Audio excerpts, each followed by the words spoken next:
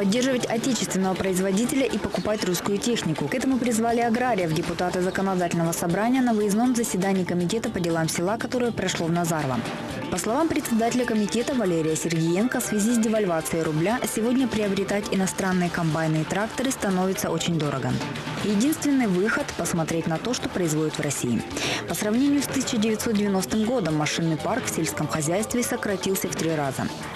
На балансе хозяйств региона сейчас находится около 9 тысяч тракторов, 4 тысяч зерноуборочных комбайнов, 688 кормоуборочных машин.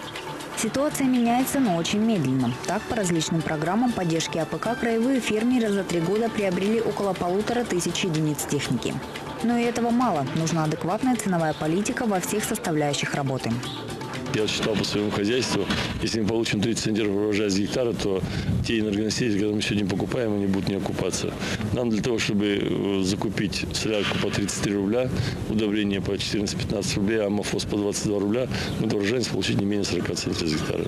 Более остро, по словам депутатов, стоит вопрос с кадрами. Из сотен выпускников на село едет работать лишь десятки. Да и этих молодых специалистов нужно отправлять на переподготовку, чтобы они смогли работать на новейшем оборудовании. По словам депутатов, чтобы люди ехали жить и работать на село, необходима достойная зарплата, развитая инфраструктура. А значит, краевой власти и есть над чем работать. Нам надо переоценить и сделать шаг вперед, через, через шаг, наверное, сделать вперед, для того, чтобы все мы понимаем, что с обеспечением кадрами на селе очень сложно, поэтому нужно работать на более производительной технике. Ну естественно, находясь в кризисной ситуации, мы должны поддерживать э, своего товаропроизводителя российского.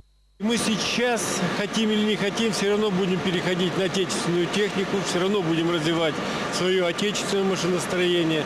И вот такие предприятия, как базовые предприятия, они должны быть.